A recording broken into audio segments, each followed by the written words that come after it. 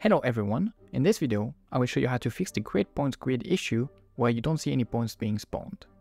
This video is going to be divided into two chapters. The first one is just going to be the solution without any explanation, but if you want to have more explanations on why things are working this way, you can stick around for the second chapter. You can find the timestamps of the video in the description. If you just want the solution, here's what you need to do. You go into the create points grid node, and then you uncheck the cull points outside volume setting. And here you go, your problem is fixed. So here, I have a very basic PCG graph. I have a density filter and a copy points node, but in my scene, I can only see the points created by the density filter and not the ones created by the copy points. As I just mentioned before, the solution to this problem can be to go into the create points grid node and then uncheck the cull points outside volume setting.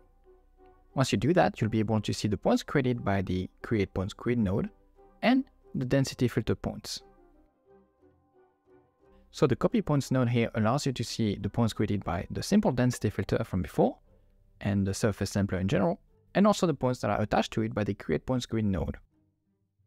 You also have another solution in this case. You don't need to uncheck the cull points outside volume setting, but in this case you will need to check the local setting, but also the local inverse transform setting. You need both at the same time. If you don't do that, you can see that the points will be spawned in a very strange way. The reasons for those two solutions to work is that by default some points are spawned outside the volume. And because of that, the PCG graph will automatically call on the points. So by default, all the points that are created by the create points grids will be removed. By changing the setting cull points outside volume, you allow the points to still exist outside the volume. And the same reason kind of applies for the uh, local and local inverse transform nodes.